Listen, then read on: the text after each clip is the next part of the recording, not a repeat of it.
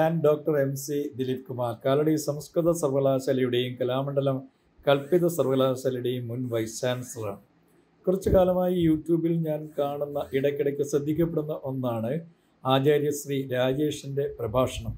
വേദപുഷ്പ YouTube series എന്ന നിലയിൽ അദ്ദേഹം നടത്തുന്ന പ്രഭാഷണങ്ങൾ ഒന്നിനൊന്ന് മെച്ചപ്പെട്ടു വരുന്നുണ്ട് എന്നാണ് എന്റെ അഭിപ്രായം. നൂറോളം എപ്പിസോഡുകളോട് അടുക്കുകയാണ് അദ്ദേഹത്തിന്റെ പ്രഭാഷണം.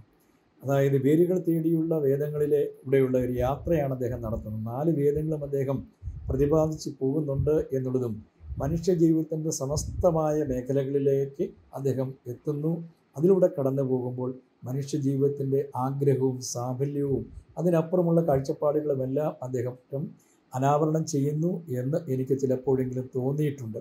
ജാതിമത ലിംഗഭേദ അല്പങ്ങൾക്കപ്പുറമുള്ള ഒരു പ്രഭാഷണം എന്ന നിലയിൽ മനുഷ്യരാശിയുടെ ഉന്നമനത്തിനായി അല്ലെങ്കിൽ മനുഷ്യരാശിയുടെ ഉദ്ധാരണത്തിനായി കൂടുതൽ ശ്രദ്ധേയമായ സംഭാവനകൾ അദ്ദേഹം നടത്തുന്നുണ്ട് എന്ന് ഞാൻ മനസ്സിലാക്കിയാണ്. പ്രതിദിന വിശിഷ്യങ്ങളായ വേദമന്ത്രങ്ങൾ അദ്ദേഹം ചർച്ചകളിലൂടെ കൊണ്ടുവരുന്നു എന്നുള്ളതും ഗുണകരമായി മാറുന്നു എന്ന് എനിക്ക് തോന്നുന്നു. അദ്ദേഹത്തിന്റെ പ്രവർത്തനത്തിന് എല്ലാ ഭാവങ്ങളും നേരുകയാണ്.